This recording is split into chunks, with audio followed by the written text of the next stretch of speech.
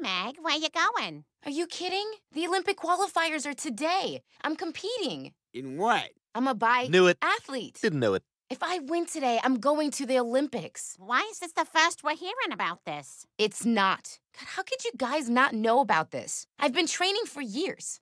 Peter, Peter, I need you to hold my ears. oh, oh. Who wants chowder? Okay, I'm off to go train for the Olympics. Ew. Mom! Mommy! Mommy! Mommy! Mama! Hey, Ma, I'm gonna go train for the Olympics. Mama! Mama! Ma! My goal becomes clear. The broccoli must die.